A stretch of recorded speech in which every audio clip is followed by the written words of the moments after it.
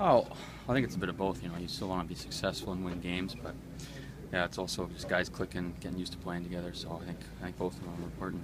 Coming down to the nitty gritty here, as far as making the roster, how do you feel in your head? Just trying not to worry about it. Just going out every night, trying to work my hardest, and uh, you know, just wait and see what happens. Is there something that you don't want to do, try to do too much there, and you know you find yourself chasing the play?